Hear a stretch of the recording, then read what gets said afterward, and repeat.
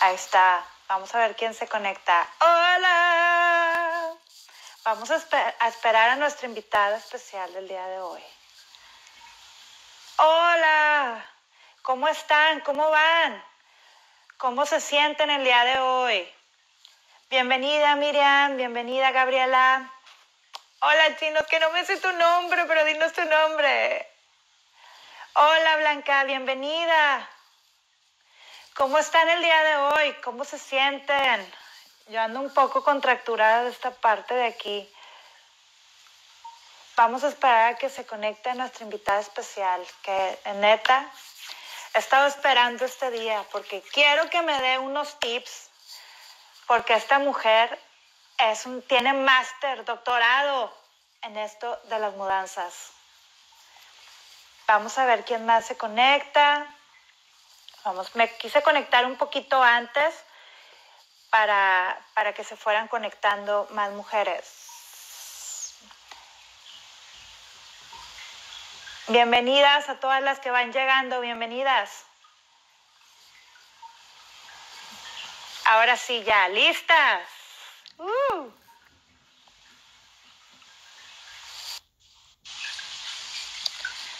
Bienvenidas a todas las que van llegando.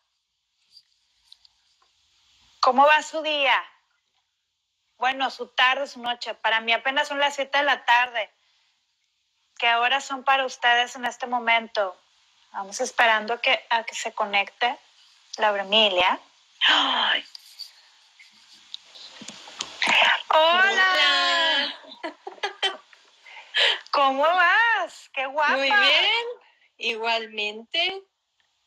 Pues bueno, empezamos entonces de una vez.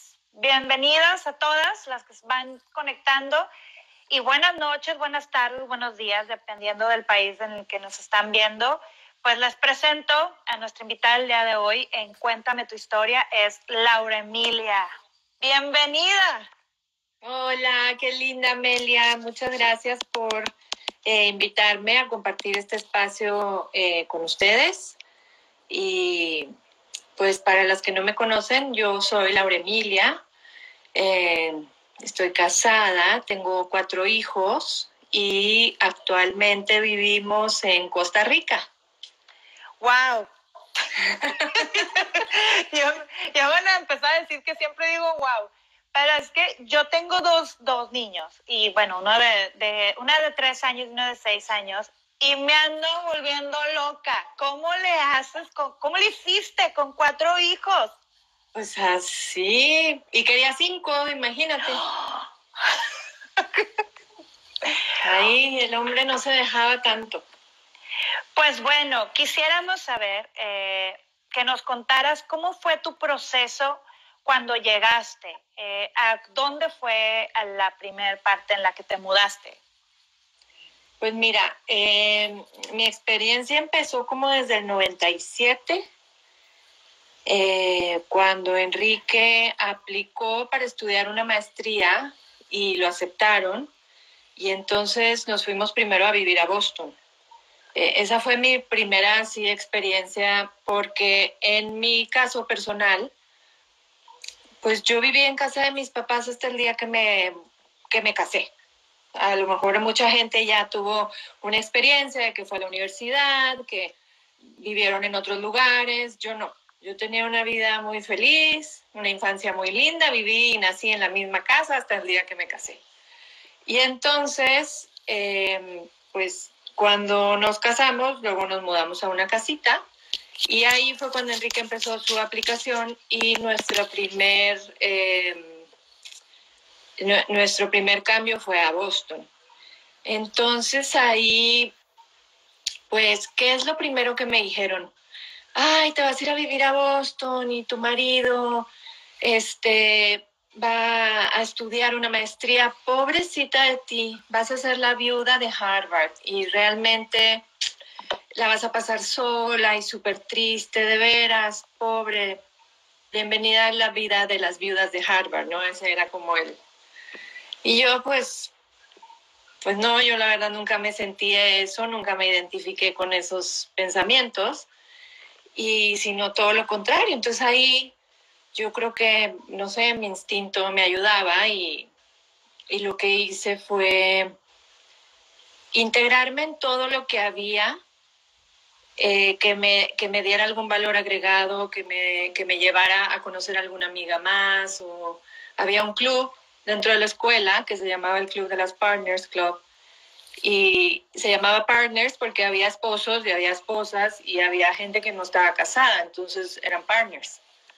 Entonces entré ahí a ese club y empecé a conocer a todas las latinas y más amigas y me dice la chava, oye, ya va a haber elecciones, ella era la encargada de las, del International Coordinator, y me dice, ¿por qué no te postulas? Y yo, ¿postularme para qué? Pues para que tú seas la International Coordinator. Y yo, no. Y mi inglés pues era muy machacado, no era muy bueno. Yo tenía una escuela de monjas y, y mi inglés era una hora diaria o 45 minutos de inglés, no era más que eso. Pero siempre en todos estos lugares a donde he llegado, siempre tenía una persona como, como Bridget ahí, que ella era una austriaca, que me decía, ándale, métete a hacer esto. Y, y como hoy, o sea, lo hacía con miedo, pero lo hacía. O sea, me daba esa cosa de, ay, yo no sé cómo le voy a hacer, pero pues lo hacía. Y entonces, pues me postulé, gané y, y ahí, este, hacía actividades para las no americanas, digamos, porque no era lo mismo que tú llegas a un país donde no es tu lengua nativa el inglés y, y, empiezas a hablar así como con las americanas y las americanas hablaban un inglés muy fluido que yo era como, ¿qué? Y no era lo mismo hablar con una italiana o con una francesa inglés, porque era más lento y las palabras eran diferentes que, que con una americana. Sí, Entonces, te entiendo.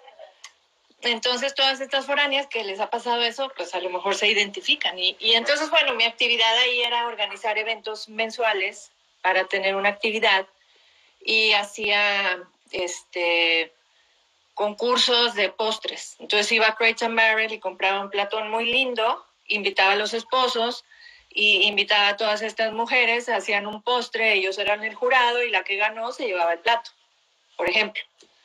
O hacía actividades de presentaciones de países, entonces hablaba con las francesas, oye, nos, nos haces una presentación de tu país y, y, puedes cocinar un poquito y nos enseñas. Y, y esas eran como las actividades que hacía. Y aunado a eso, pues siempre trataba de hacer algo más. O sea, me metía a todo lo que había, pues éramos estudiantes, entonces el, el presupuesto no era muy no era muy extenso, ¿no? Entonces, todo aquello que era gratis por medio del facility de, de, la universidad lo tomaba. Entonces, oye, hay un bus a cierta hora que te lleva y te trae, lo usaba. Oye, hay unas clases de natación en el campus de allá de no sé qué que son gratis para, ah, pues iba a las clases de natación. Y, oye, que va a haber esta charla o estas clases de pintura en el museo, no sé qué, iba a las clases. Entonces trataba como de integrarme a todas esas cosas que me daban como un, poco de ocupación. Este, no, no teníamos niños en ese entonces y, este, y, y no me trataba de identificar con aquello que me habían dicho, ay, vas a ser la viuda y pobrecita de ti, de veras. Pues no, la verdad que no. Este, y, y eso fue ahí como, como, como lo que lo que trabajé un poquito ese tiempo que estuvimos viviendo ahí cuando Enrique estuvo estudiando la maestría. Ahí conocimos amigos de todos lados del mundo y tenemos la dicha de seguir en contacto con todos. Hace un año fuimos ahora a la reunión de 20 años de graduados. Maravilloso, te puedes reencontrar con toda esta gente que, que pues empieza a ser como en ese momento fue tu familia, porque eran con los que convivías y, y pues actualmente están ahí siempre, ¿no? Entonces vas como, como teniendo esa convivencia con otra gente y vas aprendiendo de sus culturas y todo eso. Después regresamos a Monterrey y estuvimos ahí un tiempo y ahí nacieron mis primeros tres hijos. Ajá. Y este y después de ahí le, le dan a Enrique su, su primera asignación este, como, como eh, fuera del país. Entonces ahí nos mudamos a Guatemala. Y llegando a Guatemala, pues la verdad es que vivimos inmensamente felices. Yo fui súper feliz ahí. Hasta la fecha yo regreso y me siento como en mi casa. Y entonces siempre tengo la suerte de que algún recomendado, algún amigo, algún alguien que me dice, oye, alguien está, en este caso, un amigo mío que había estudiado conmigo la prepa, tenía viviendo ahí 10 años y yo no sabía, ni, hasta que me dicen, oye, ¿sabes que Neto Castro tenía ahí viviendo 10 años? Y yo no, no sabía. Entonces le hablo y le digo, oye, nos vamos a mudar para allá y, y la reconexión y qué buena onda y aquí los esperamos y en lo que les pueda ayudar y todo.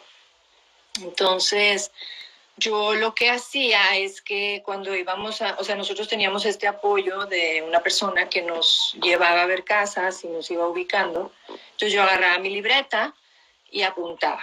Y le decía, ¿aquí cómo se llama? No, pues esto se llama Carretera El Salvador, no sé qué, y apuntaba. ¿Y cómo se llama el condominio? No, pues se llama el condominio Las Luces. Ok. Y apuntaba qué casa fui a ver y cuántos cuartos tenía y la zona y el precio y todo. Y luego siguiente casa, otra zona, porque al final del día era tanto que se te olvidaba. Entonces no, no podías a veces mantener toda esa información.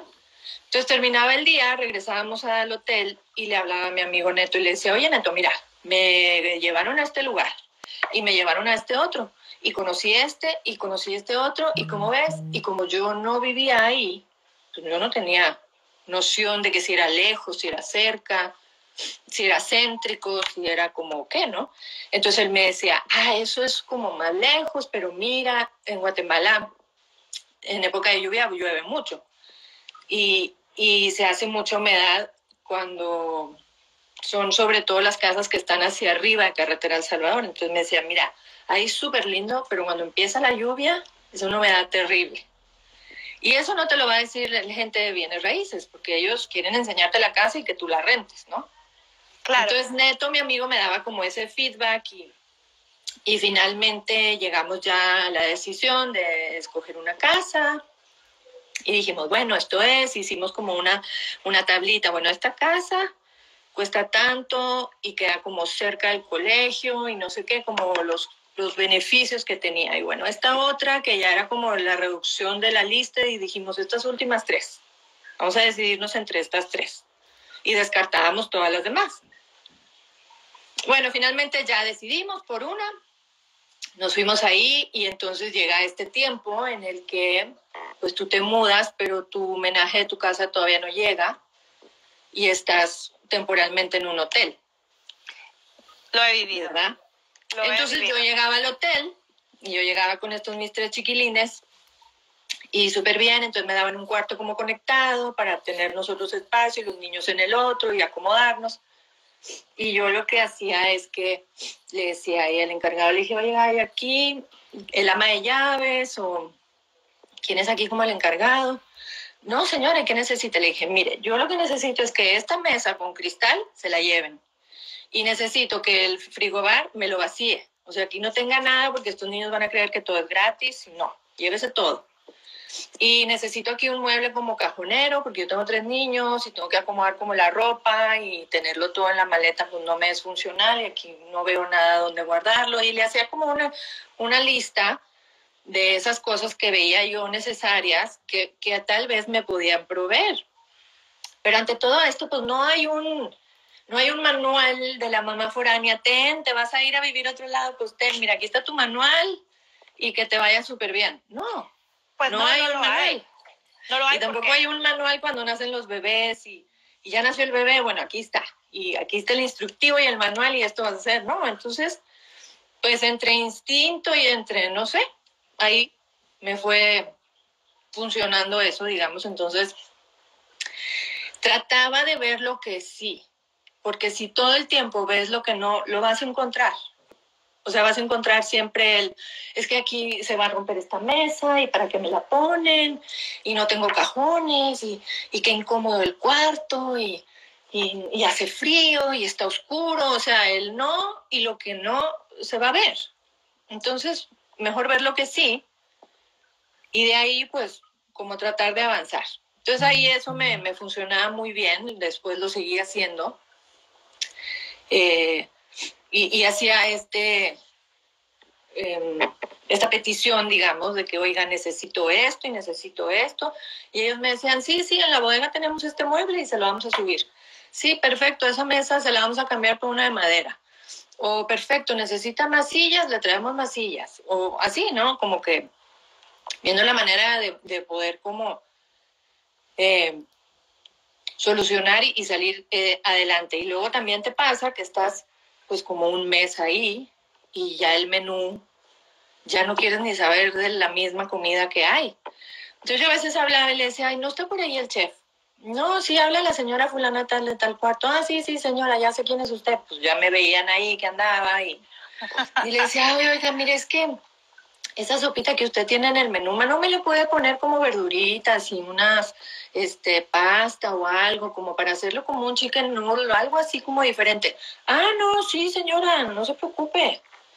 Y entonces, pues yo hacía estas peticiones y se me daban, entonces me, me iba funcionando así, este, y no se me hacía como aquello tan, tan difícil de sobrellevar y decir, es que estoy en un hotel y, y la comida me tiene hasta acá y ya me cansé, etcétera, ¿no? Y eso es algo muy importante que tú dices, porque bueno, me siento muy identificada con lo que has contado hasta ahorita, porque yo también llegué aquí a la Universidad de Minnesota con mi esposo y era una comunidad y había una comunidad de latinos y, o sea, eh, ah, lo mismo, pero lo, yo, lo que yo creo que a mí me faltó fue actitud, algo que tú tienes, actitud ante las cosas, porque yo sí decía, ay, no, la nieve, ya estoy harta, ya quiero el sol y no sé qué. Y, o sea, lo que dices tú, o sea, ¿cómo, cómo ves las cosas. O sea, no me voy a poner a pensar en lo, en lo que no tengo, sino en lo que sí tengo. Pero yo, la neta, sí, gracias a que pensé de esa manera, me fue muy mal. O sea, el, pensar de las cosas negativas del, del, momento, no lo que realmente estaba viviendo, el haberme cambiado, el conocer a gente de todas partes del mundo, y algo que te quería preguntar a ti es cómo, por si dijiste que regresaste a Monterrey, ¿cómo fue eso cuando regresaste? ¿Cómo te sentiste tú? No sé si, bueno, yo en mi caso ah, me sentía rara si regresara a vivir a, a, México. Pues fueron como dos años que estuvimos en Boston, un poquito más, y, y después regresamos y este pues no me sentí mal o, o, así como, como diciendo, ay, ya como que no encajo aquí o la gente o... No, la verdad es que fue como que vivimos esa experiencia y nos fue muy bien. Entonces, pues llegamos como a lo que sigue, ¿no? Vamos a, a ver, sin, sin, sin pensar en ya pronto nos vamos a ir, porque realmente fueron cosas que se fueron dando y nunca estaba con eso, ay, ¿será que me vuelva a ir a vivir a otro lado y cómo me gustaría? Pues realmente no, no era ese mi pensamiento, bueno, no me acuerdo así ahorita, este, pero lo que sí te pasa es como un poco después, ya que tienes más tiempo y regresas como a, a, visitar o, o, a, o a ver o a estar ahí un tiempo, entonces ahí entra tu poder de decisión de decir, esto esto que está pasando aquí y cómo vive la gente, esto sí me gusta y esto no me gusta. Y esto lo quería seguir haciendo y esto ya no, porque ya no me identificaba con eso. ¿Verdad? Ya no, ya no era funcional para mí. Ciertas cosas, ciertas actitudes, ciertos modos de la sociedad o cosas así, sí, más o menos por ahí es tu pregunta. Y con, bueno, y sí, y también quería preguntarte, ¿cómo manejaste tú el cambio de tus hijos a Guatemala? O sea, ¿cómo fue ese cambio? Porque yo me mudé de casa y el niño extrañó, o sea, ¿cómo lo manejaste tú?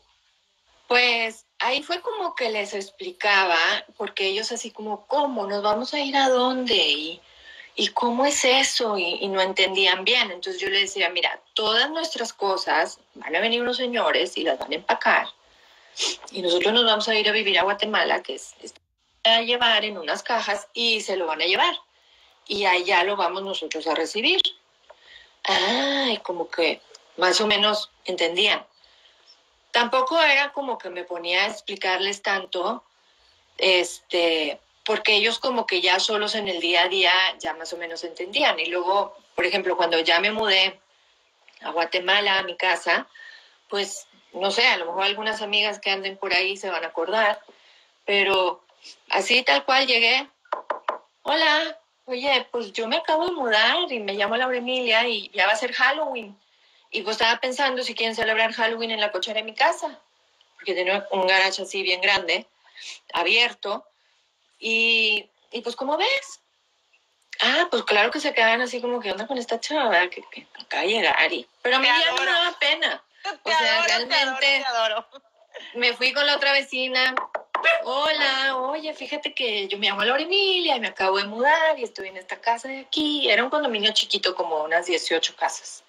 Eran tres hermanos que cada quien tenía, como que ellos sí vivían de sus rentas. Cada quien tenía como sus cuatro casas. Los tres hermanos vivían ahí y pues rentaba sus casas. Y tuve esa muy buena suerte de tener muy buenos vecinos este, que se hicieron también familia y hasta la fecha los seguimos frecuentando. Unos viven todavía en Guate, otros se mudaron, etcétera. Ya no viven ahí, otros construyeron sus casas. Pero se instituyó por los años que yo viví ahí la fiesta de Halloween. Era como, ya viene Halloween y ya vamos a hacer Halloween, y ya sabían que era en mi garage y pedíamos pizza y poníamos mesas y nos disfrazábamos, íbamos y pedíamos dulces en todas las casas. Y, eran esas pequeñas actividades repetidas que se van convirtiendo como en ciertas tradiciones. Hoy por hoy lo hago con mi hijo el menor que tiene 12, porque le, ya le divierte ir y pedir dulces, pero ahora hemos integrado el Día del Altar de Muertos, o sea, el Día de los Muertos. Y como tenemos más familiares que ya no están con nosotros, entonces ponemos sus fotos y hacemos el altar y, y hemos ido adquiriendo esas otras este, actividades que, que a veces no las hacíamos, pero ahora las integramos, como también cuando llegamos a esa escuela internacional y nos daban los días para Thanksgiving, pues empezamos a celebrar Thanksgiving. Bueno, empezamos también en Harvard porque nuestros amigos nos invitaban a celebrarlo y, y después lo, lo empecé a hacer yo. O sea, lo celebro hasta la fecha, pongo una mesa muy linda y hago de cenar, invitamos amigos, y, se van haciendo así como esas tradiciones que, que implementas y, y, las vas haciendo parte de tu vida con tus hijos, porque ahí tu familia es tu marido y tus hijos. Sí, así es, porque en realidad tienes muchos amigos, pero tus amigos también tienen sus hijos, también tienen su marido, también tienen su vida, o sea... Exacto. Y entonces en Guatemala, pues este, nos fue súper bien. Es una ciudad súper linda, pero uno tiene que tener cuidado por la seguridad. Este, pero nunca me sentí como insegura o, o mal o me va a pasar algo. Inclusive me llegaron a asaltar una vez, fue ahí como mi asalto que fue súper cool. Este, era un día feriado y entonces mi esposo se había ido, Enrique se había ido a una convención argentina de, de, del trabajo y entonces nos acababan de mandar a alguien para la seguridad para que esté ahí con nosotros. Y yo vengo y le digo, pues mañana es un día feriado, no venga. ¿Para qué? Entonces no fue el señor. Y al día siguiente a mí se me ocurrió que quería ir a comprar unos tamalitos para comer. Entonces dije, bueno, pues ¿quién quiere venir? Y mis hijos eran más chiquitos. Y me dicen, no, yo voy, yo voy. Y me traigo a Emilio y Enrique, que eran chiquitos en aquel entonces, tenían como 18 años o un poco menos. Y los subo, me voy, me estaciono, me bajo y era como un garage en la calle. Y cuando yo había ido, que ya lo había conocido antes, estaba abierto el portón. Y ahora el portón estaba cerrado. Entonces decía un letrero, toque, le atendemos. Y yo, ok. Entonces toco y en eso viene un señor de no sé dónde con un arma y viene y me dice, eh, la llave, deme la llave. Qué miedo. entonces yo volteo, el otro señor que venía con él se sube al carro, era una camioneta, y estaban mis dos hijos en el carro. Y le dije, sí, sí le voy a dar las llaves, pero primero voy a bajar a mis hijos del carro. Y entonces le digo a mis hijos, hey, Emilio, Enrique, eh, vénganse. Sí, sí, y se bajan. Y los agarro a mis hijos de aquí de los hombros y le doy la llave al señor y me quedo ahí parada. Y entonces el señor me decía, la cartera, la cartera, deme la cartera. Y yo traía como un bolso muy chiquito. Y, y para mí la cartera es la billetera, ¿verdad? Entonces luego me explicaron que él lo que quería la cartera era la bolsa. Oh. Entonces yo trataba de abrir aquí y, y, no podía sacar mi billetera porque él quería la cartera y la cartera en El Salvador, en otros países es el monedero, ¿verdad? Y la bolsa creo que le llaman bolso, que esa es otra de las cosas que uno va aprendiendo de cómo le dicen los nombres a las cosas, ¿no? Claro. Entonces, eh, pues yo como tenía a mis hijos agarrados de los hombros, pegada a la pared, y trataba de sacar como mi cartera y no podía, entonces el hombre, gracias a Dios, desistió, se sube al carro y se van los dos. Y entonces toco otra vez y, y, me abren, y entonces, este, entro y le digo, fíjese que me acaban de asaltar. ¿Cómo, señora? Y yo, pues sí, este, me asaltaron y se llevaban mi carro. No, ¿qué, ¿cómo, señora? Pero está bien, siéntese. Y yo ya me siento y en eso me habla Enrique, mi marido. Y me dice, hola, yo, ¿qué onda? Y me dice, oye, no te hablé ayer porque el cargador y no sé qué. Y yo, ah, sí, no importa, ¿dónde estás? No, vine a comprar unos tamalitos. Ah, muy bien. ¿Y qué tal? ¿Todo bien? Y yo, sí. ¿Y los niños? Ah, aquí están Emilio y Enrique conmigo. Ah, muy bien. ¿Y entonces qué onda? No, pues nada, se llevaron el carro. Le digo, ¿cómo? Que se llevaron el carro. Y yo, sí, se lo llevaron. Pues yo estaba hablando por teléfono y mis hijos aquí. Ni se te asaltaron. Y yo, sí. Con arma, una pistola. Y yo, sí. Pero ¿cómo es posible? ¿Y dónde estás? Y yo, ah, vine a los tamales la Carmelita no, Laura, y ahorita te hablo. Y, y eso, para esto antes yo le hablé a mi amigo Ernesto y le digo, Neto, ¿qué onda, Laura? Si yo, me acaban de asaltar, ¿cómo? ¿Dónde? Y yo, pues aquí en los tamales. Me dice, métete ahí y ya voy para allá. Entonces primero le hablé a Neto y luego me entra la llamada de Enrique. Entonces yo ya estaba adentro. Y ya me habla la gente de seguridad y me habla no sé quién y, al final ahí como que, pues señora, qué vergüenza y qué pena, pero está bien. Le dije, no, sí, sí, estoy bien. Y le digo, oiga, pero yo venía a llevarme unos tamalitos, ¿de qué tienen tamales? Ah, pues tengo no sé qué, pues dame los tamales que me los voy a llevar. Compré los tamales, llegó mi amigo, me fui con él, nos fuimos. Quiero tener tu actitud. Quiero Dejamos tener... a mis hijos ahí en, en casa, de, en su casa, jugando con su hijito, porque yo tenía que ir a hacer una declaración y un rollo, pero... Bueno, y ya al final todavía le digo, oye, yo iba a ir a cambiar unas cortinas, porque me ven todos los vecinos y las cortinas quedaron cortas pues llévame a comprar otras. Me dice, ¿cómo que qué quieres ir a comprar? Y yo, sí, necesito comprar las cortinas. Pues así, entonces mis hijos estaban muy bien. Ese día en la noche ya nada más llegó Emilio, me dijo, mamá, ¿quiénes son los robadores? Y yo, ay, pues los robadores son unos señores que cuando les gusta algo y no son de ellos, pues se los llevan. Se lo llevan. Y pues así, Ay, eh, y, y, entonces el robador fue el que se llevó el carro. Y yo, sí, el robador se llevó el carro. Ah, no, ok. Ya. Y se fue a jugar. Declarado, mañana post por toda la casa. Actitud de Laura Emilia, que no se te olvide, actitud de Laura Emilia.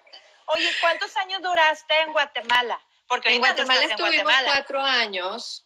En Guatemala estuvimos cuatro años y y después de esos cuatro años, pues llega la noticia de que nos vamos a mudar, pero este cambio sí era diferente, porque todavía mudarte de, de México a Guatemala, pues es el mismo idioma, es muy cerca, eh, la alimentación es muy similar, la gente pues habla tu mismo idioma, entonces son súper agradables, etc.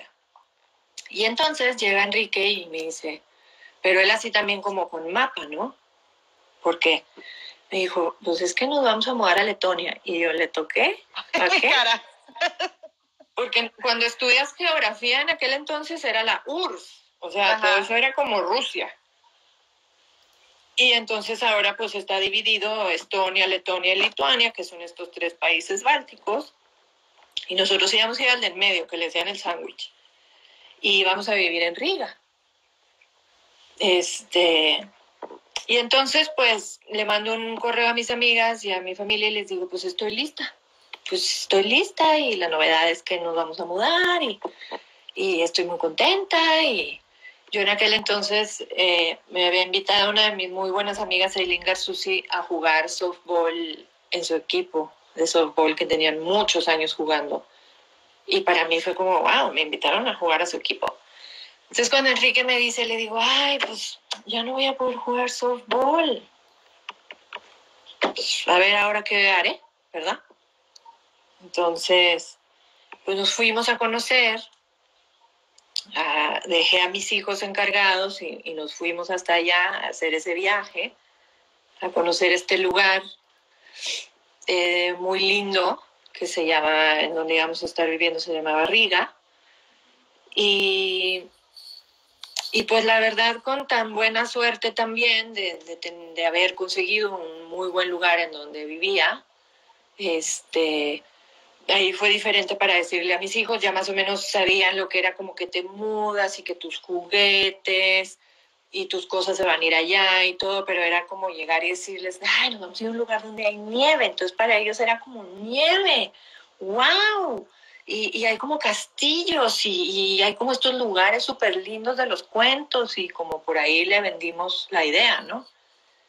¿Y el idioma? Pues ahí el idioma es letón, que en realidad pues no vale la pena aprenderlo porque pues es un idioma que solo se habla ahí. Eh, lo único de ahí que logré yo identificar es cuando había un grupo de personas comiendo cerca. Yo sabía si, como, como es una comunidad, como es un país que vivió por muchos años dominado, que si por los alemanes, que si luego llegaron los suecos y que luego volvieron a llegar los rusos y que luego no sé qué, este, se quedó ahí mucha gente y hablaban ruso, alemán y letón. Más el letón, o sea, el letón se molestaba cuando los rusos hablaban ruso, pero había mucho ruso ahí. Es un país como muy cercano y en aquel entonces una parte del tiempo fue Rusia, todo. Entonces, pues el idioma era letón, pero yo llegué a un punto en el que podía identificar ellos están hablando letón o ellos están hablando ruso.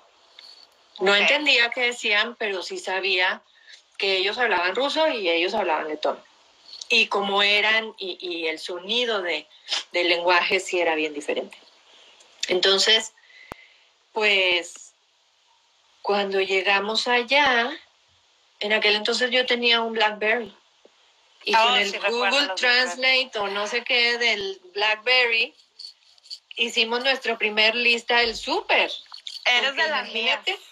Yo también sacaba mi, mi tra- Google Translate y le decía, léale aquí, aquí.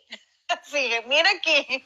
No, yo porque escribía y decía leche. ¿Cómo se dice leche? Porque yo llegaba a la leche y había como muchos nombres y nada decía milk o latte o no. Entonces buscamos leche, piens.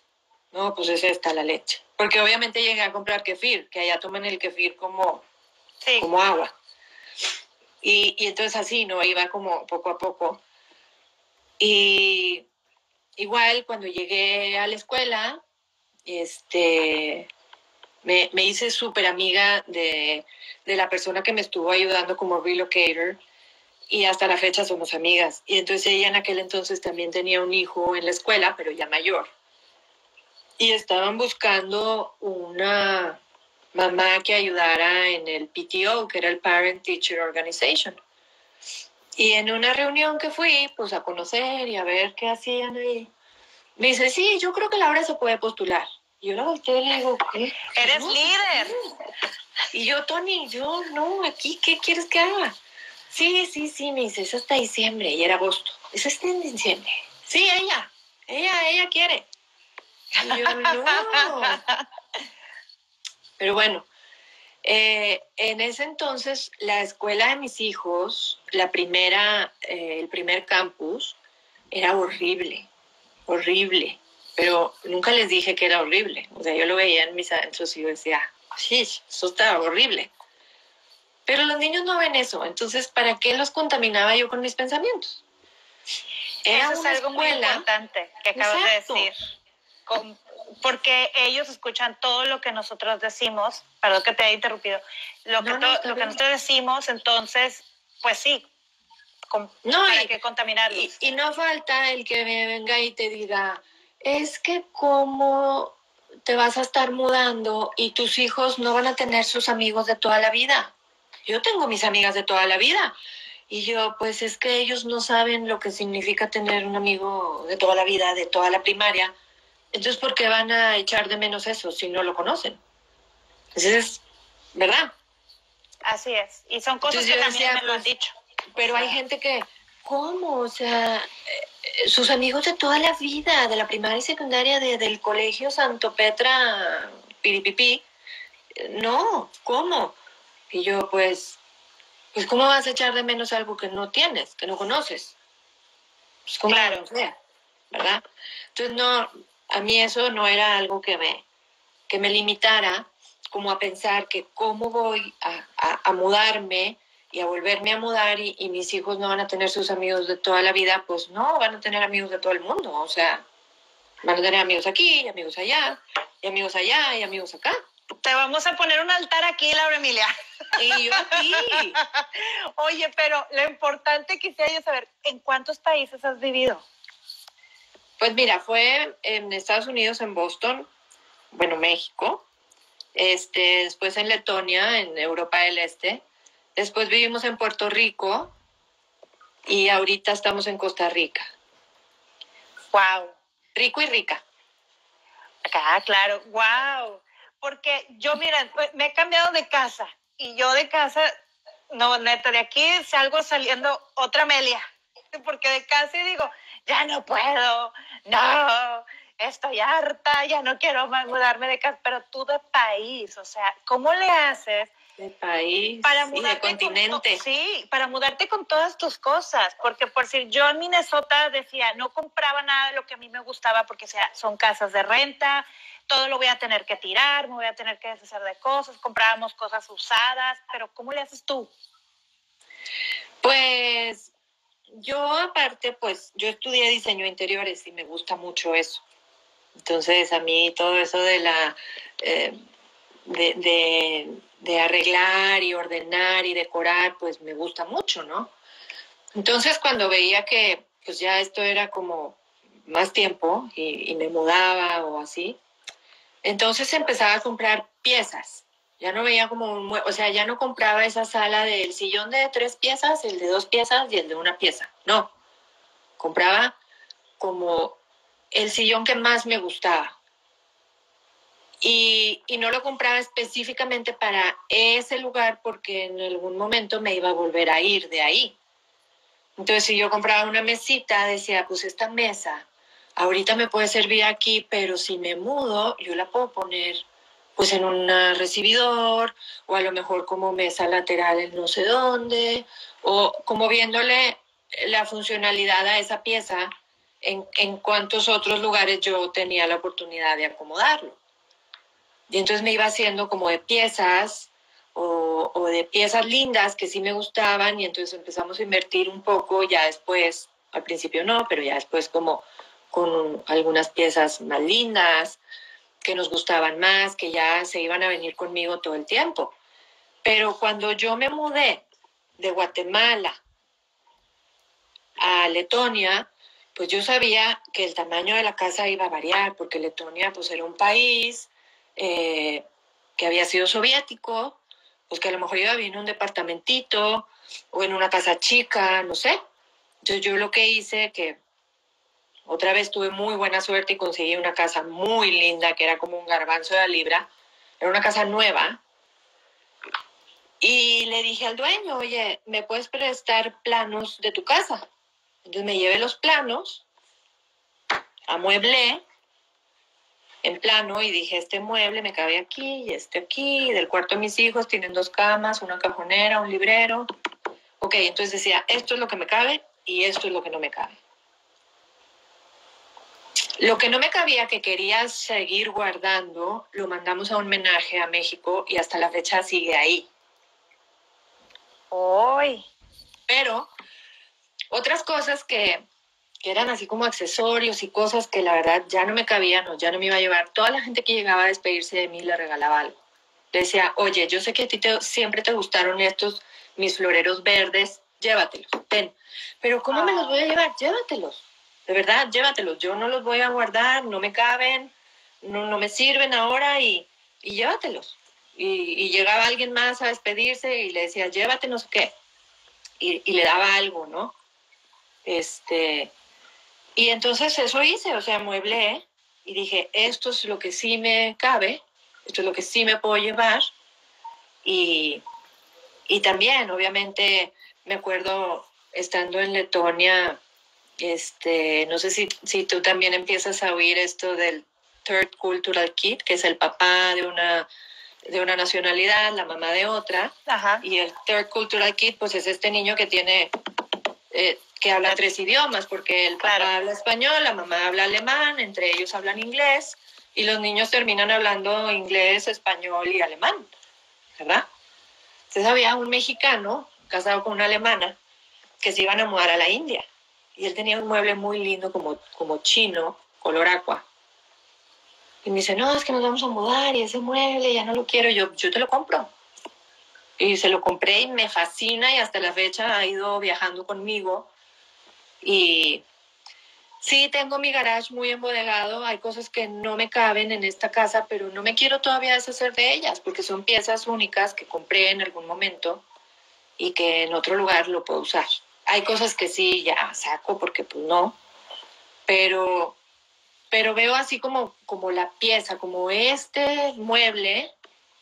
Hoy lo puedo poner aquí, pero si me mudo me puede servir para no sé qué o para y, empezamos a invertir un poquito en algunos cuadros o en algunas cosas que, pues esa es tu casa.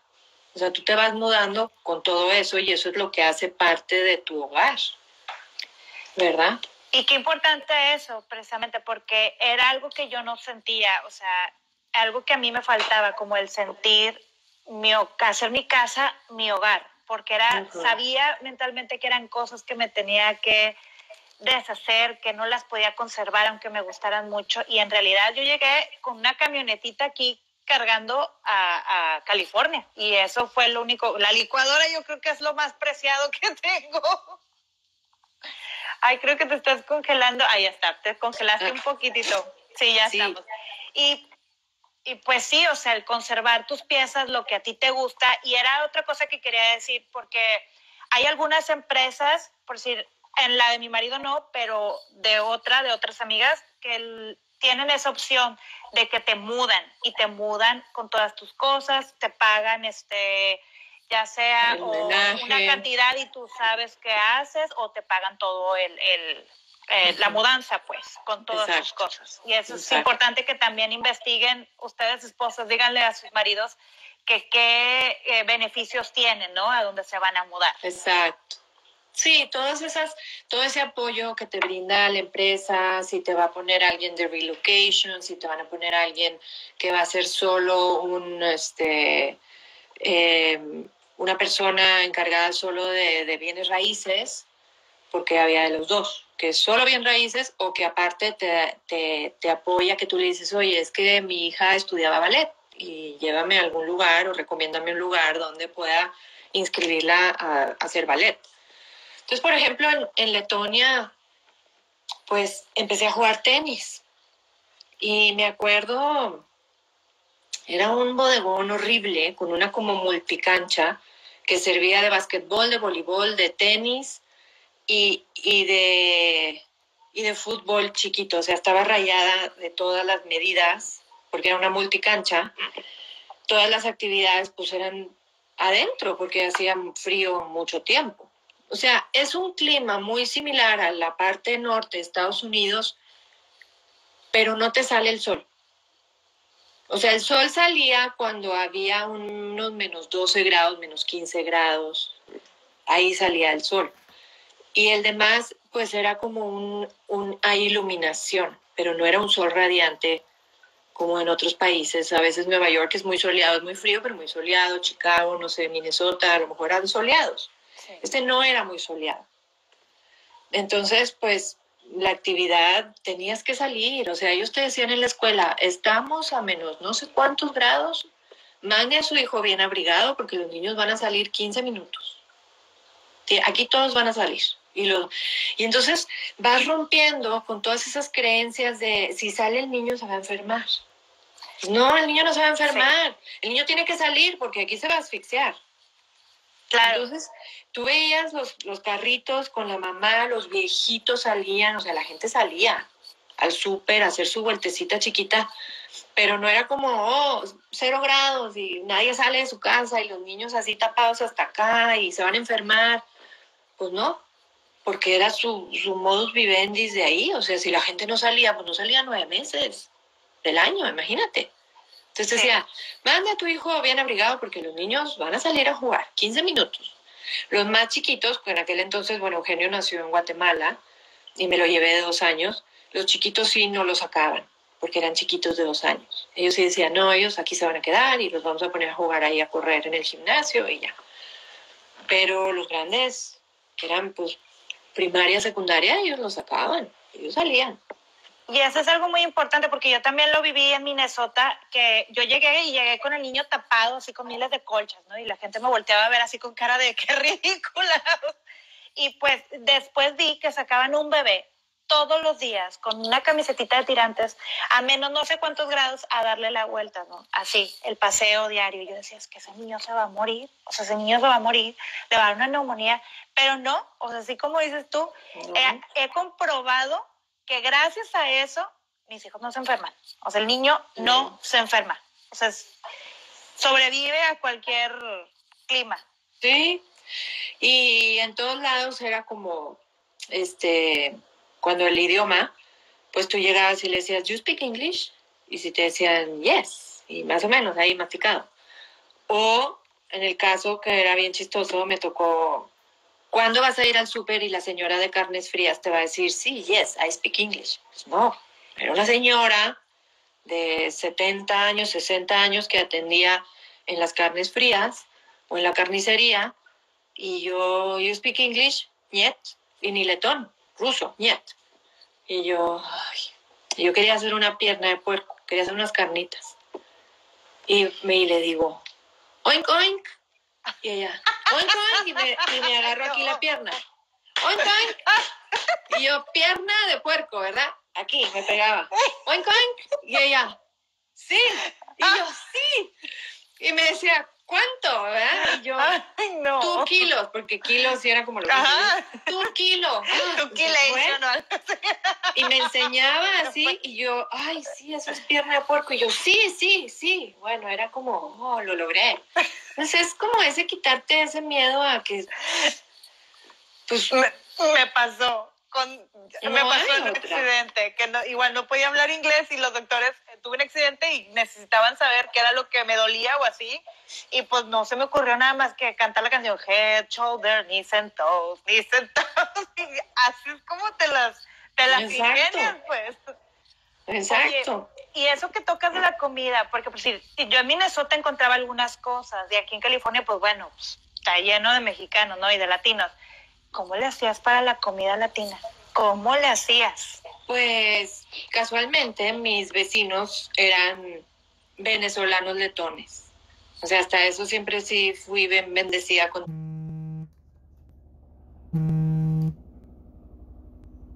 Me conseguían más seca y hacía tortillas o me conseguían, o había un supercito donde a veces conseguía algo de la costeña, frijoles o jalapeños o alguna salsa entonces, más o menos con eso, con eso lo hacía, pero sí fue un cambio de alimentación eh, tan diferente, o sea, dejabas de comer muchas otras cosas que comías y, por ejemplo, Enrique, mi, mi marido, padecía una acidez terrible.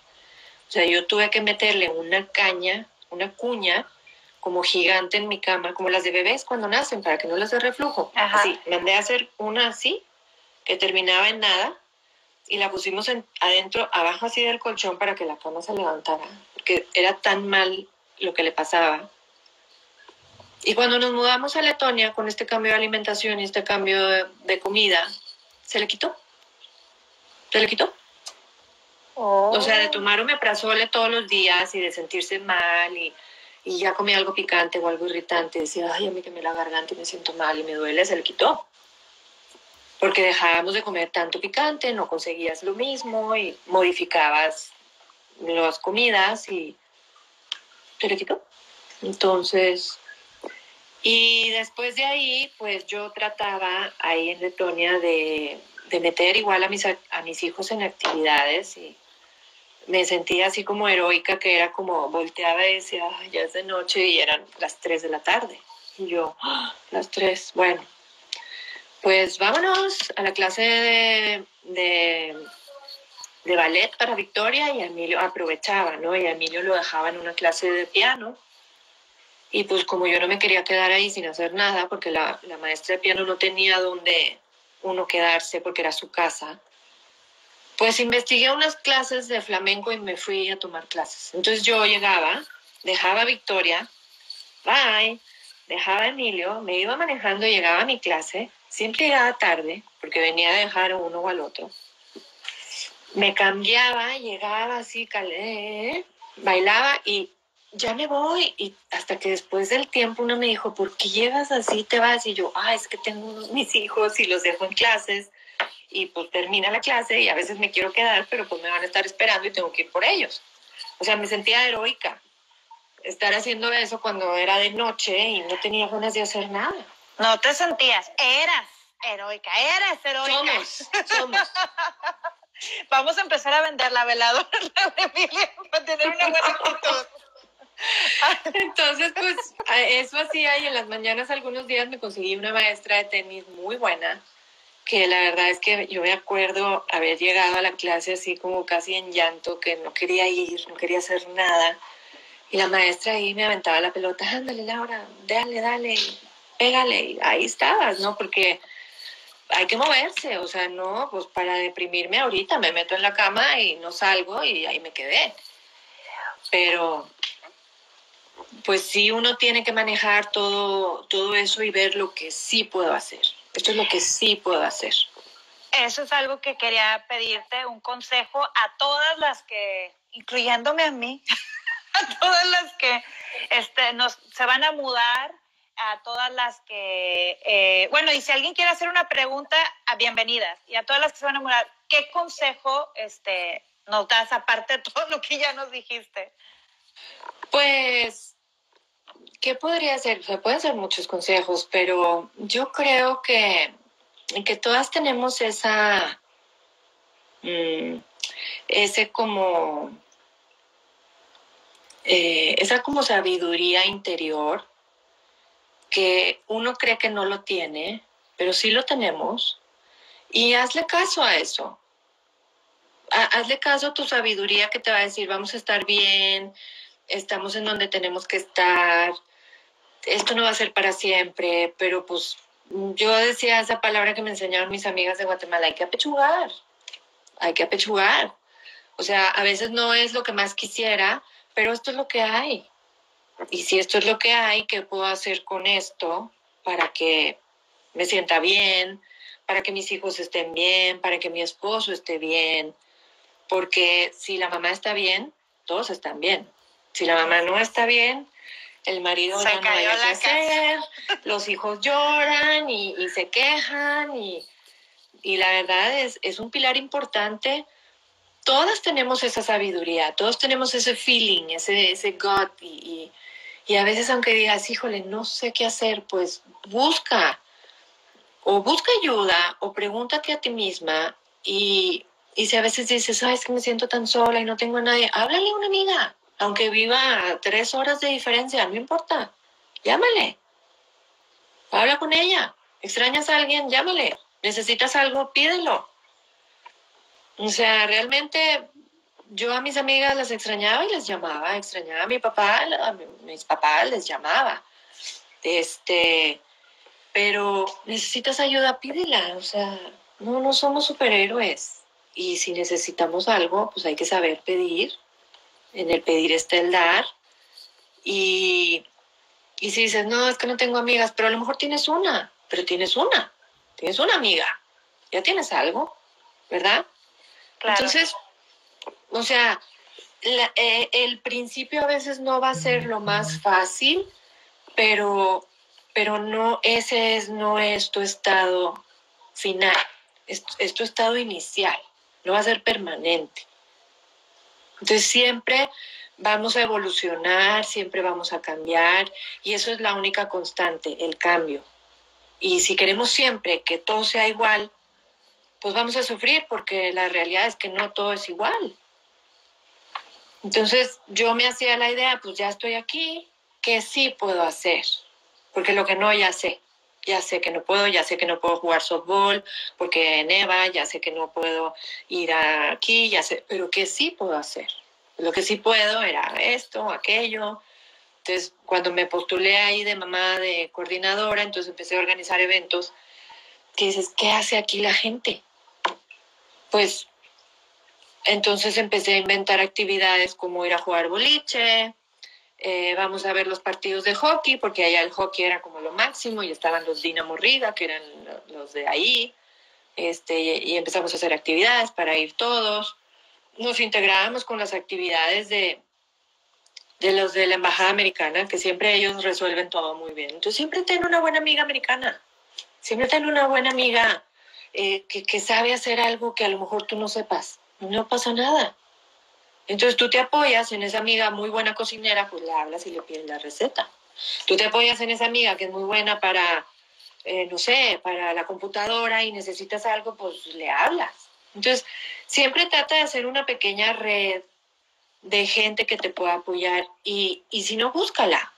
Métete a, ahorita hay muchas este, facilidad de contactar con gente. Tú te puedes meter en Facebook y poner mexicanas en Puerto Rico. Había un grupo.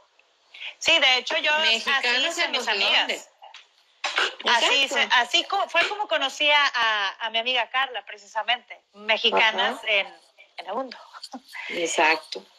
Luego de ahí, pues estuvimos estos cuatro años, nos mudamos a Puerto Rico, que era otra cosa totalmente diferente. O sea, yo me acuerdo después de Guatemala haber llegado a Letón y saludar a la gente de eso y ellos así como, no, no, no, o sea, aquí no saludamos así, ¿verdad? Y, y, Puerto Rico, pues es como la fiesta y a mí me daba risa porque después de cuatro años que estuve como muy estructurada en esta ciudad donde no podías manejar rápido y la gente era como muy ordenada, muy organizada, muy estructurada y así eran ellos, ¿no? Nada más, ah, una, perdón, una pausa aquí. Si se corta, voy a volver otra vez, ah, porque nos da solamente una hora Instagram, pero no importa, seguimos.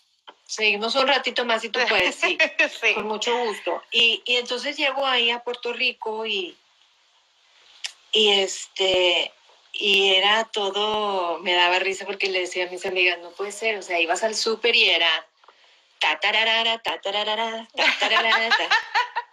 y llegaba, no sé, a donde sea, a Walmart también, y, y tenía que ir al dentista y el dentista tenía la pantalla con el concierto de Mark Anthony, o sea, todo era ta, ta, ta, ta, ta, todo era fiesta, baile, salsa, y como que sí, después de cuatro años de como modificar tu modus vivendus, pues vuelves a, a, decir, bueno, pues ya estoy aquí en este otro lugar y esto es lo que aquí la gente hace, ¿no? Entonces, este, pues era cambio total, o sea, mis hijos iban con sweatpants y con chaqueta y como repollos, con capas, y aquí de repente solo eran shorts y un t-shirt para ir a la escuela este, ya no necesitaban aquellas botas y chaquetas y, pantalones de nieve ni nada de eso. Entonces, este, eh, en, Puerto Rico, pues la vida era bien diferente. Eh, teníamos una playa muy cerca, entonces eh, hicimos también muy buenos amigos y, y tenías otras cosas que te ofrecía el lugar. Este, entonces igual, o sea, de repente no me caía el 20 que decía, es que estoy en una isla. Estás en una isla, ¿verdad? Y, y pues a veces trataba de no pensar en eso, porque si de repente uno dice, es que estoy en una isla, y si llega un huracán, y si pasa esto, y si pasa, y sí, pero pues es algo que igual no puedes controlar, entonces pues ¿para qué te vas a donde no, a donde no puedes estar y vas a pelear con una realidad que no, que no vas a ganar. ¡Ah, ya regresamos, ya regresamos! ¡No! Estaba bien picada. Oigan, es que está muy bueno esto. Ya regresamos otra vez. Sí, se cortó justo en el... Pero ya estamos aquí otra vez. Ahí voy, ahí voy. A ver, aquí está. Aquí. A ver, ahora sí. Ay, no, yo estoy, insisto, voy a hacer una veladora que... una veladora. No, qué divina. Préndela para tener buena actitud como Laura Emilia. No, hombre, si no creas también. La, la verdad es que mi, mi cambio de, de, de Letonia, de Riga a Puerto Rico, eh, fue diferente, fue muy peculiar. Eh, nosotros ya teníamos planeado eh, el verano y mi hijo mayor iba a hacer una semana en, un, en una este, em, en una actividad que se llamaba Peoples to Peoples, iba a estar en Boston y nosotros íbamos a, a, esperar unos días en Boston, íbamos a ir otros días en Nueva York en lo que él pasaba esa semana. Y luego teníamos pensado ir casualmente a Costa Rica de viaje y teníamos como todo eso planeado. Y en eso pues le dicen a Enrique, ya te vas a mudar. Y, y fue así como un cambio rápido. Eh, mis hijos no pudieron terminar la escuela diciéndole adiós a sus amigos porque pasó la vacación. O sea, salieron de vacaciones y después nos dijeron. Entonces ya ya no podía regresar como a la escuela a decir, ya nos mudamos y que les vaya bien, ¿no? Ya no. Entonces, pero igual, yo trataba de no hacer un drama de eso, de, ay, pobrecito, no se despidieron. Y... Entonces, pues les, les traté de hacer como algunas actividades con sus amigos en la casa para que tuvieran ese, esa oportunidad de cerrar ese ciclo y, y de despedirse de ellos. Y, y me acuerdo perfecto que Victoria, mi hija, cumpleaños en julio, pobrecita, porque siempre la gente está de vacaciones, ¿no? Y entonces ese día llegaba la mudanza, porque ya eran cosas que se planeaban que ya no podías modificar porque la mudanza tenía, tengo espacio este día, como diciendo, si quiere bien, y si no, yo no podía ponerle decir, no, fíjese ese día, cumpleaños mi hija, no, el siguiente.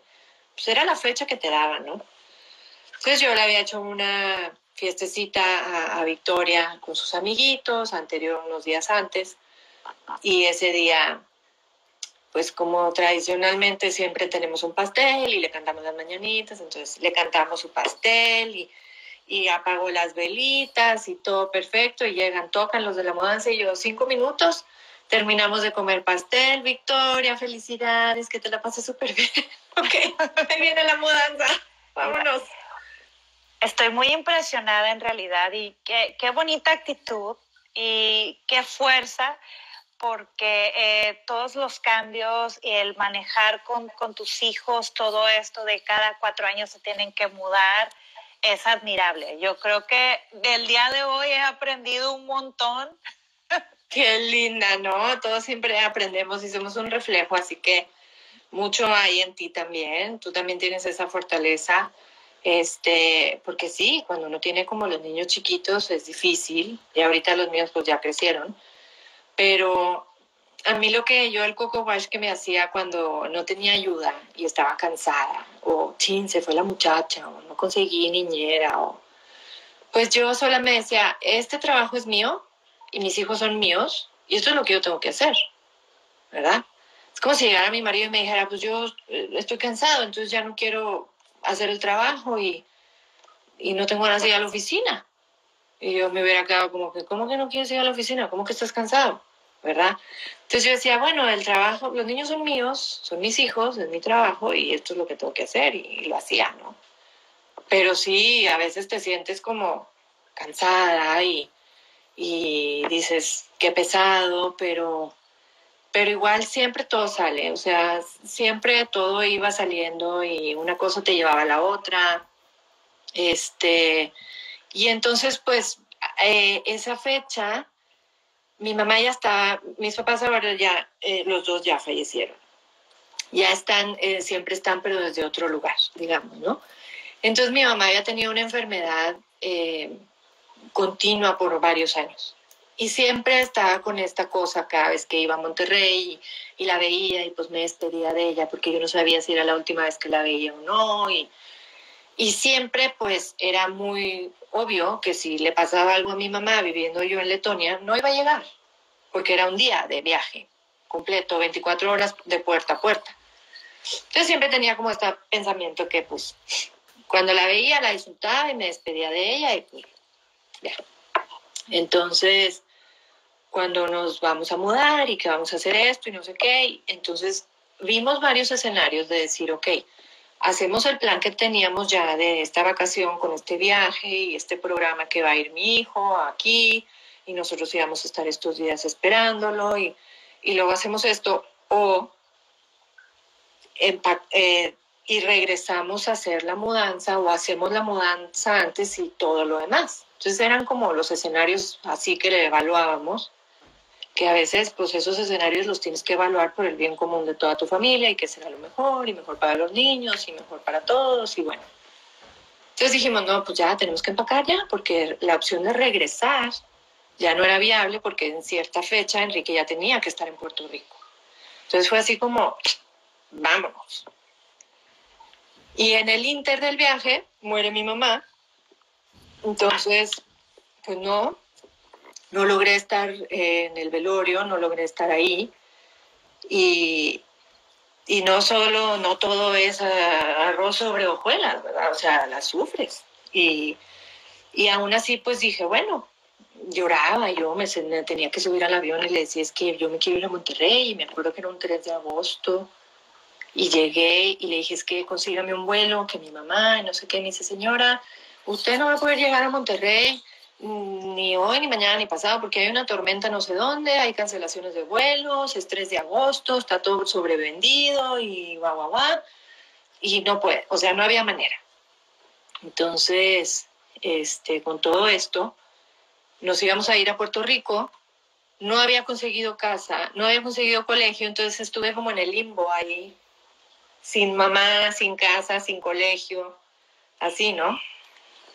Ya pasa todo esto, este, mis hermanos me dicen, Laura, pues es una circunstancia, ni modo, así te tocó, vamos a incinerar a mi, a mi mamá. Y después vienes y ya hacemos una misa con las cenizas y ya tú haces también ese, cierras ese ciclo y ritual. Y ya, ¿verdad? Entonces hicimos eso y ya todo estaba con fechas, entonces estuve dos días, hicimos eso y vámonos, tenemos que ir a Puerto Rico. Y nos fuimos. Entonces, pues ahí todas todavía estábamos como que con la escuela que sí, que no, finalmente ya la conseguimos porque en ese entonces que nos avisaron la escuela estaba de vacaciones y no había gente administrativa que te pudiera atender. Bueno, finalmente ya buscamos la escuela y todo muy bien, pero seguíamos en el hotel y mientras yo iba y buscaba casa porque no teníamos todavía casa. Cuando en las otras experiencias ya la casa ya la tenía, ya sabía dónde iba a llegar, ya me quedaba como tranquila, mis muebles van a llegar y todo. Pero no siempre todo es así. Entonces, en este caso fue diferente y, y, no era todo tan la alfombra ahí, la mesa puesta y todo bien hecho, ¿no? Entonces, son estas otras cosas que igual te vuelves a adaptar, a readaptar. Y, y como dice este escrito de Darwin que dice, no es la especie más fuerte la que sobrevive al cambio, sí, digo la que siempre sobrevive, sino la, la que mejor se adapta al cambio. Eso. Y también, pues gracias por compartirnos tu historia con lo que pasó con tu mamá. Digo, es algo que yo he aprendido aquí a valorar a mi mamá a mis familiares. Y a que cuando viajo, ahí hasta voy a empezar a llorar, que cuando viajo a, a México, en realidad, y es que siempre me regreso, y ya, ya me van a salir las lágrimas, siempre me regreso y me regreso precisamente con eso, ¿no?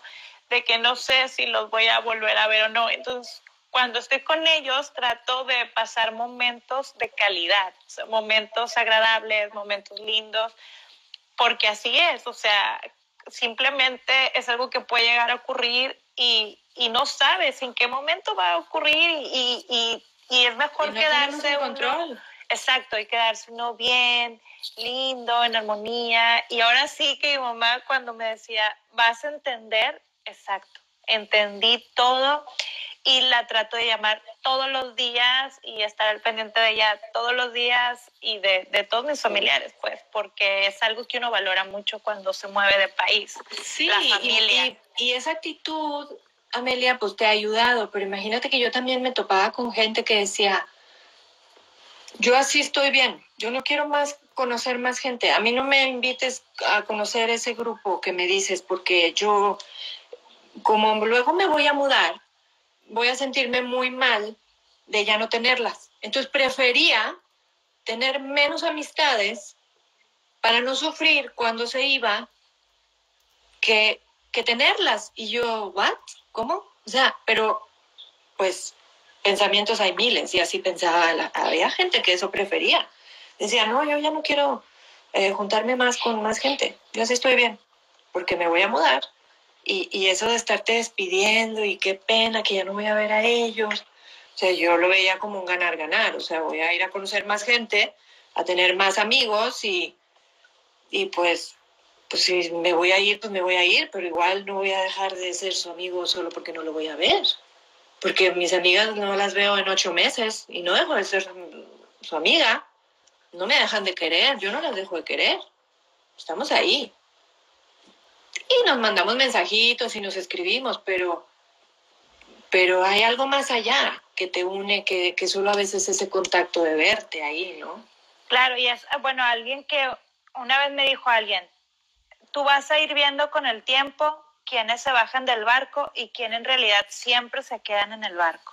O sea, los que son tus amigos, o sea, aunque no hables de todo el tiempo o no se vean a cada rato, siempre van a estar ahí y tus amigos se mudan contigo, o sea, se van contigo.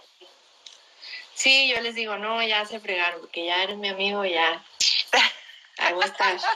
Para esas que me conocen, sí saben que soy ahí cuchillito de palo. Y bueno, no sé si alguien quiere hacer alguna pregunta en estos momentos, así que empiezan a, decir sus preguntas. Aquí todo, hace rato estaba viendo, leyendo los comentarios y todo el mundo estaba, no, Laura Emilia ya se va a quedar aquí y te queremos, Laura Emilia. Qué bonito que seas una persona así, tan, tan, tan querida y con tu carácter, en verdad. No, qué linda. Bueno, yo les quiero decir que Amelia es un estuche de monerías porque ustedes no saben que ella ah. hace estas cosas preciosas de crochet que esta, ella me la hizo. Sí, así, así fue. Bueno, te conocí porque pues ¿Eh? eres amiga de mi mamá y después tuve contacto contigo gracias a que me compraste algunas piezas de, de crochet. Sí, me hiciste un nacimiento. Muchísimas gracias. Exacto, yo te la mandé con mucho cariño. Todo un estuche de monerías la chica esta. Dice, dicen, dile a Laura Emilia que si quiere ser mi amiga. sí. ¿Alguien más tiene alguna pregunta?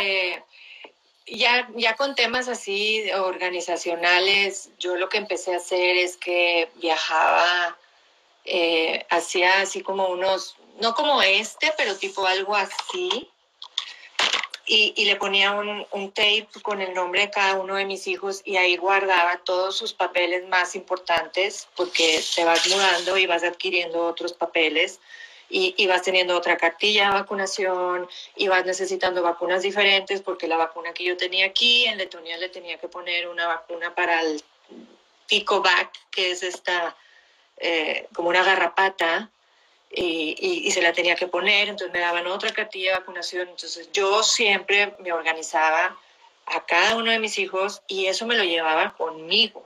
O sea, esos papeles de acta de nacimiento y y cosas importantes y cosas de la escuela y actas de bautizo y de whatever, lo que era más importante de ellos, lo traía conmigo. O sea, eso no lo dejaba en la mudanza porque si algo se pierde, pues se va a perder. Nunca sabes. Entonces, cosas así como de, de, cosas importantes, entonces empecé a hacer eh, e, esas archivos de cada uno importante con todas sus cosas y sus diplomas y sus calificaciones y actas de nacimiento y acta de no sé dónde y el permiso de residencia de no sé qué y los papeles de quién sabe qué y todo, todo, todo lo tenía así como guardado y eso lo llevaba conmigo en un carrión. O sea, no lo mandaba en la mudanza. Pues sí, porque luego si se te pierde algún documento, me imagino que es todo un show. Bueno, aquí hoy recurres a la Embajada Mexicana en algunas ocasiones, pero hay otras que sí hemos tenido que mandar traer y pagar paquetería para que llegue el, el papel. Sí, exactamente.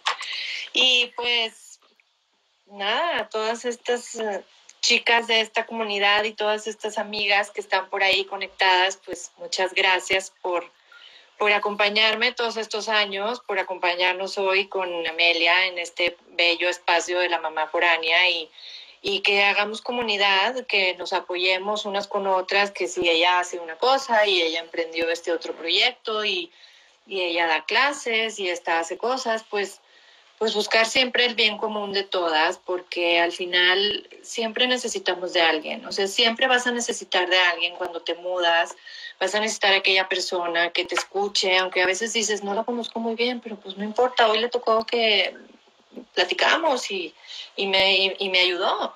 Y, y, otro día este, va a ser otra persona, entonces siempre estar abiertas a todas esas posibilidades, a que no nos dé pena pedir ayuda, a, que no nos dé pena no saber hacer las cosas de entrada, porque no, no todo tiene un, un, este, un instructivo, no hay un instructivo así para la vida y, poco a poco uno va este, pudiendo hacer las cosas paso a pasito y una cosa te va a llevar a la otra y, en este lugar vas a adquirir estas herramientas y vas a tener estas posibilidades y eso te va a llevar a, ir avanzando y a ir haciendo otras cosas diferentes, que al final yo nunca pensé que a lo mejor iba a vivir en diferentes países, iba a tener tantos amigos, pues no, no sabía que esto era para mí, pero este, así fue y, y lo aprecio, estoy muy agradecida con la vida por esta oportunidad y este y a seguir así pues apoyándonos. Yo prontamente también espero sacar un proyectito, que ahí está mi amiga Elina empujándome a que les diga, pero... Eso era lo este, que te quería decir. Yo también lo leí y dije, ah, cuéntanos, ¿qué estás emprendiendo en este momento?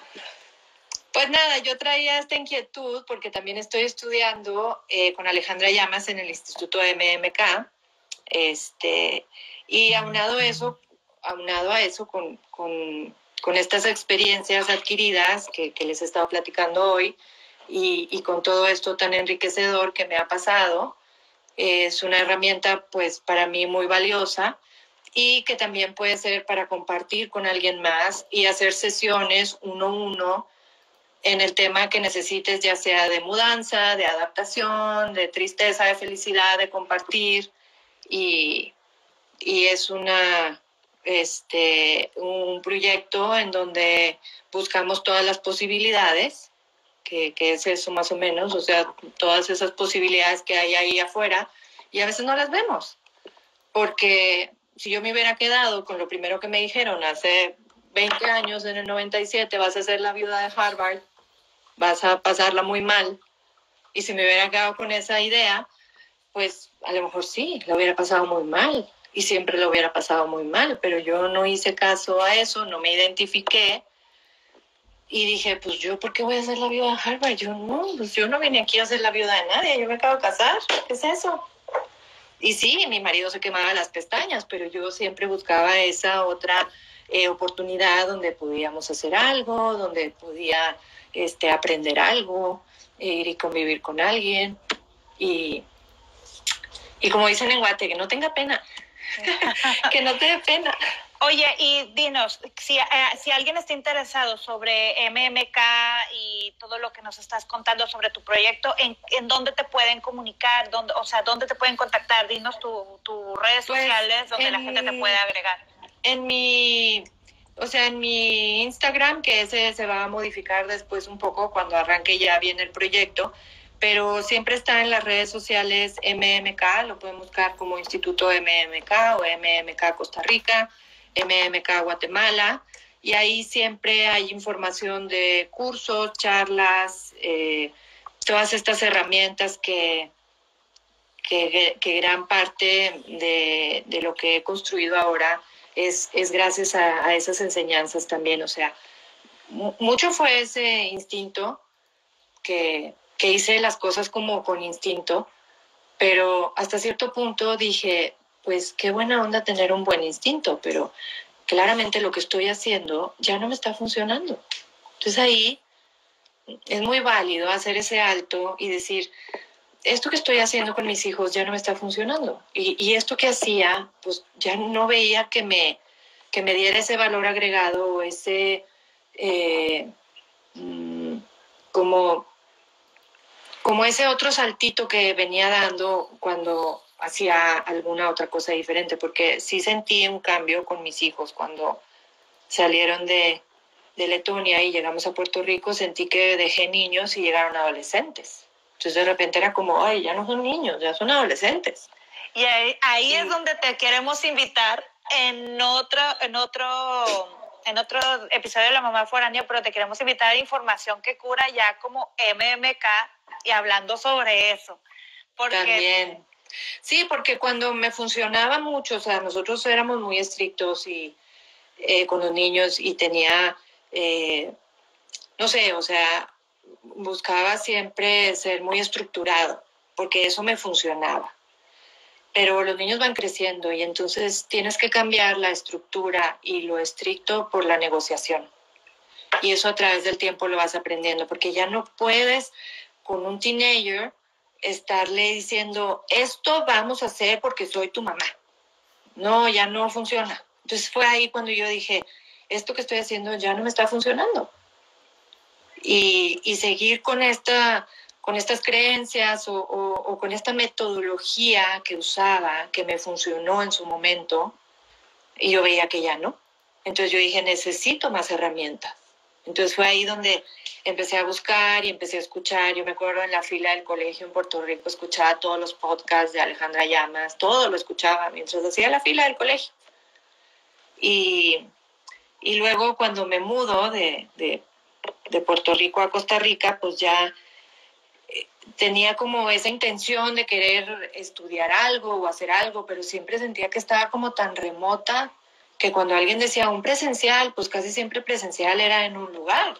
Y yo tenía cuatro hijos, yo no tenía cómo dejarlos una semana para irme a hacer un presencial a, a Miami o a Ciudad de México, porque yo vivía o en Letonia o en Puerto Rico, pues no. Pero ahora con la bendita tecnología ya eso lo puedes hacer. Eso es maravilloso y así es como Carly y yo nos conocimos gracias a la tecnología porque yo no la conozco en persona y en realidad es que estamos en contacto todos los días, todo el día y estamos apoyándonos mutuamente. Aquí dice alguien, ¿qué tanto espacio de opinión le das a tus hijos referente a las mudanzas? Pues te puedo decir eh, lo que me pasó con mi hijo mayor cuando las que están relacionadas con los grados así americanos, o sea, mi hijo terminó onceavo y llega Enrique, su papá, y le dice, mi hijo, pues fíjate que nos vamos a mudar a Costa Rica. Y mi hijo mayor, que es así como muy propio y el mayor, ¿no? Bien serio, dice, así tal cual las lágrimas le ruedan en la cara y le dice, papá, ¿cómo me estás haciendo esto? O sea, tú quieres que yo me mude en mi senior year con una bola de desconocidos. ¿Cómo? O sea, neta, ¿esto me estás haciendo? Y le dice, hijo, yo no lo tomes personal, no te puedo dejar aquí, eres menor de edad, no es como que aquí te quedas tú, te gradúas, nosotros nos vamos. Yo no tengo el control de esto y esto así es, y tú sabes. Pero vamos a que conozcas, vamos a que veas y, y, y ahí es cuando ya ese, vas a ir a esta escuela, mijito, y aquí va a ser, y aquí va a estar, y, esto es lo que vas a hacer y esto es lo que te funciona porque son chiquitos y pues ya, ¿no? Pero entonces, este, pues con esa pena que él decía, ¿cómo, cómo? O sea, yo voy a ser senior y mi último año, que es lo máximo, y mi grabación y todo, lo voy a ir a hacer con, uno, con una bola de desconocidos, como que, ¿qué estás pensando? Y muy válido su sentimiento, ¿no? Claro. Entonces, pues nos vinimos a, conocer y ya cuando estaban más grandes, pues ya los trajimos, porque ya ellos necesitaban hacer exámenes. Cuando eran más chiquitos, pues no, simplemente llegaban al kinder, llegaban a la primaria. cambiabas. y ahora sí necesitaban estar presentes y hacer unos exámenes y, y verlos y así. Entonces llegamos al colegio y, y, este, y me acuerdo ese día la counselor es una, es una maestra de Puerto Rico, casualmente, viviendo aquí en Costa Rica. Y pues él ya sabía que venía esta familia de mexicanos que vivían en, en Puerto Rico. Y, y, ella es como de este tamaño y mi hijo como de este tamaño. Y llega y le dice, Enrique, bienvenido, que viviste en Puerto Rico y yo puertorriqueña. Y como que ahí fue su primer contacto con la counselor del colegio y la verdad es que es muy buena muy pilas, o sea, te, te, resuelve todo. Entonces le decía, mira Enrique, estos van a ser tus clases, esto es lo que vas a hacer, esto te va a ayudar y para tus aplicaciones y no sé qué, porque ya empezaba todo su proceso de aplicaciones para la universidad. Pues al final él salió súper contento y le dijo, pues papá, sí, este, esto está muy bien. La, la es súper pilas y está muy bien, ¿sí? vengámonos. Hasta la fecha, sus bros, así, sus amigos ahorita más allegados son sus amigos que hizo en un año aquí en Costa Rica, más que los que tuvo tres años en, en Puerto Rico. O sea, sí hizo amistades, de hecho ha visto a unos cuantos ahora que está en la universidad, que casualmente el de Puerto Rico quedó cerca y se vio y el otro día fue a su dorm y, y siguen con esa relación, pero, pero así sus muy amigos son los que hizo el último año, ahorita cuando estuvo acá. Entonces, pues, ¿qué tanto le quieres dar a tus hijos? Pues, ¿qué tanto tú les quieres dar? ¿Hasta dónde te agachas? ¿Hasta dónde te ven los calzones? O sea, tú quieres dar feria de más, pues das feria de más. Tú quieres decir, pues esto es hasta aquí. Y si tienes más preguntas, pues pregúntame más, pero, pero, no sé, a veces no hay más que decir, porque, porque pues qué, como que ya nos vamos a mudar. Claro. Pues qué lindo, muchísimas gracias este, por haber estado con nosotras, muchísimas gracias por todo lo que nos compartiste. Yo ya me voy súper anotada. Y, no, pues, qué linda, muchísimas gracias. Nos encanta, sí. No sé si alguna otra pregunta que tengan por ahí, que ya nos extendimos como bastante, gracias a todas las que estuvieron ahí escuchando y escuchando.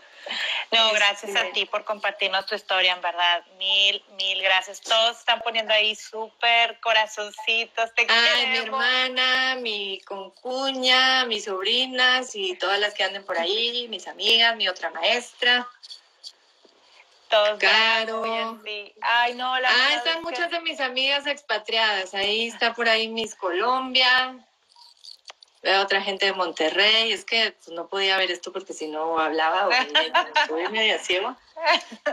No, yo también estoy. A veces me tengo que acercar así para poder leer porque luego no alcanzo a ver. Pues muchísimas gracias, Laura Emilia, en verdad. Eh, nos encantaría tenerte de vuelta, pero hablando sobre otros temas. Es muy admirable todo lo que haces, tu actitud. Estoy enamorada de tu actitud. En ¿Y yo de la tuya? bueno, ya ando con... Todavía me falta. Seguimos aprendiendo. No, pero eres así bien salsera y haces cosas Ah, sí, me fascina. Súper cool. Y, pues bueno, espero que... Uh, no, yo no espero. Claro que todos aprendimos algo el día de hoy de ti. No, con mucho gusto. Y si luego tus mamás foráneas te, te escriben de algo más que quieran como hablar más sobre esa cosa, que tengan alguna inquietud, pues con muchísimo gusto eh, yo feliz de compartir este espacio contigo y, y este y pues muchas gracias, gracias a todos los que estuvieron este ratito acompañándonos y pues pura vida. Ay, pues te mandamos un abrazo, mi amiga Carla desde México, porque ella se quedó, le tocó estar en este momento allá y yo pues acá desde California. Y pues buenas noches, buenos días, buenas a todos, donde quiera que estén. Cuídate muchísimas gracias. Gracias, amiguita Amelia. Nos vemos. Nos vemos. Manténganse a salvo. Cuídense.